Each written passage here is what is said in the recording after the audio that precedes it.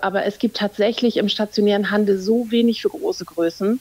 Ähm, und es macht auch das Einkaufen macht keinen Spaß. Also wenn natürlich dann große Ketten wie H&M auch noch die großen Größen komplett ins Online, ähm, in den Online-Bereich verlagern, triggert mich das nicht so, weil ich eh eine Online-Shopperin bin. Aber junge Mädchen müssen oder Jugendliche müssen mit ihren ähm, Freundinnen zusammen shoppen gehen können und Shopping-Erlebnisse haben. Mhm. Das ist ganz wichtig. Und ähm, ich sag mal so, junge Mädchen, ob die dann zu C&A gehen, das weiß ich nicht. C&A hat ja auch eine junge Linie. Clockhouse, glaube ich, heißt sie, ähm, wo ein bisschen jüngere Mode drin ist, auch in größeren Größen. Aber wo sollen denn die jungen Mädchen hingehen oder generell, wo soll eine dicke Frau